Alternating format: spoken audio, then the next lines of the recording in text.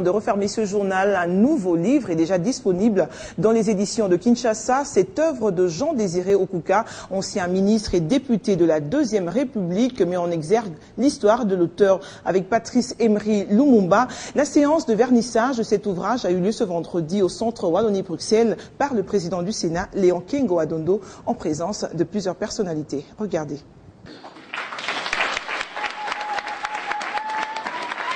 L'homme a préféré son histoire pour retracer un parcours assez extraordinaire, le parcours d'un grand commis de l'État au service de son pays.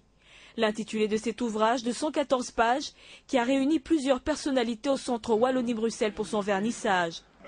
Les relations controversées chez les Tétéla et le héros national Patrice Emery Lumumba, sa longévité, sa vitalité physique, voilà les motivations de l'auteur. Soldats, fonctionnaires, députés, sénateurs, ministre, j'ai voulu laisser des traces de mon parcours professionnel.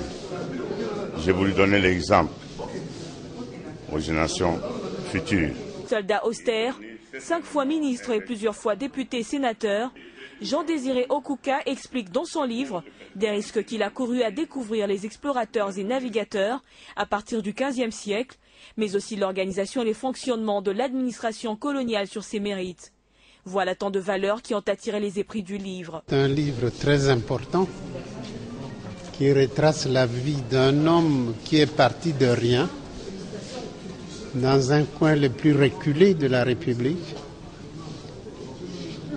Un homme qui a gravi par ses fêtes tout de l'échelle de la société. Et c'est un exemple à suivre.